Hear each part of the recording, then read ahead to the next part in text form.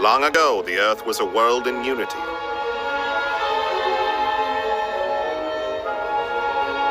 A planet of peace and harmony, unspoiled in its splendor. All of humanity lived as one. We had reached the pinnacle of science, philosophy, and art. Humanity stood on the brink of utopia. And then,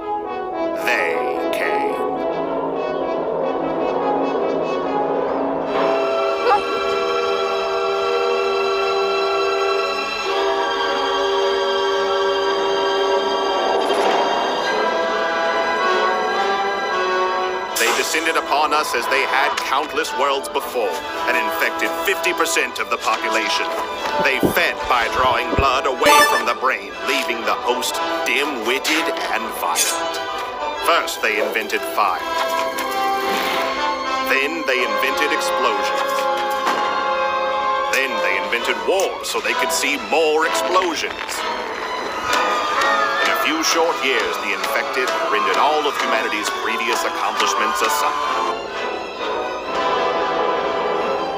The alien scourge still infests the planet even today, bringing with it millennia of war, violence.